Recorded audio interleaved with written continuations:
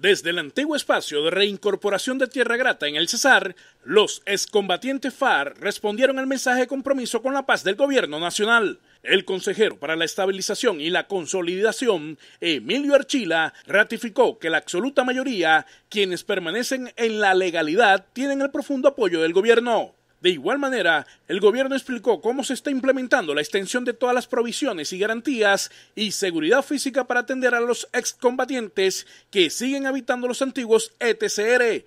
Esto no va a cambiar para reafirmar el compromiso del gobierno del presidente Iván Duque con los casi 11.000 excombatientes de la FARC que permanecen dentro de la legalidad. El consejero presidencial para la estabilización y la consolidación, Emilio Archila, visitó ayer miércoles el antiguo espacio territorial de capacitación y reincorporación ETCR de Tierra Grata, en el corregimiento de San José de Oriente Cesar. En este antiguo ETCR, los excombatientes han creado proyectos productivos, abonos orgánicos, porcícola, fabricación de calzado y ganadería, entre otros. De los 148 excombatientes que residen en Tierra Grata, 140 se encuentran afiliados al sistema de salud.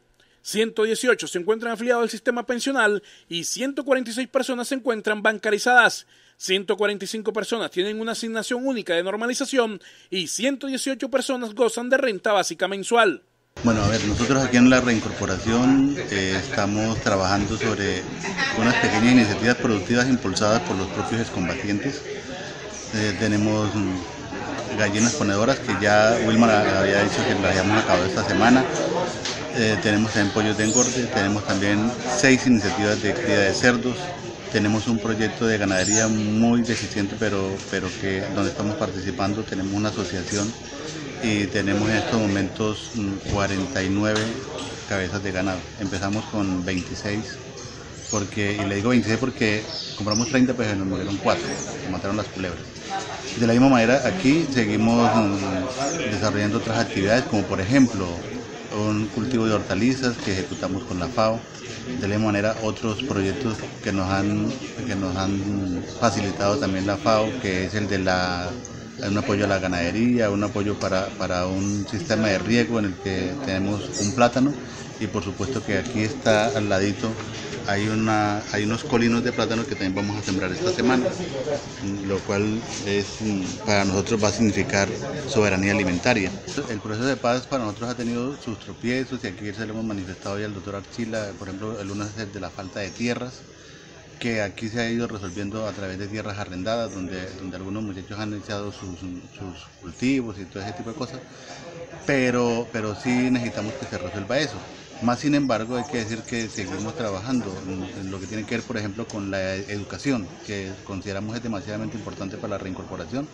En estos momentos tenemos 81 estudiantes exactamente matriculados para este nuevo ciclo que va a empezar, entre ellos 20 que entrarían a ser 11 y ya terminan prácticamente graduados para iniciar cualquier carrera universitaria. De la misma manera tenemos en estos momentos tres excombatientes haciendo, haciendo carrera universitaria en la SAT, estamos estudiando Administración Pública, y nueve que se acabaron de, graduar, que presentaron pruebas IPES ahora el 11 de, agosto pasado. Estamos esperando los resultados de ellos y seguramente que para el próximo año van a ser también estudiantes universitarios. Durante el desarrollo de la Carpa Azul, el consejero Archila envió un mensaje de tranquilidad a los excombatientes en el sentido de la continuidad de las provisiones necesarias para seguir habitando los antiguos ETCR. De igual manera, Archila dijo que el gobierno seguirá pagando las administraciones y servicios públicos de los espacios en donde funcionaban los ETCR.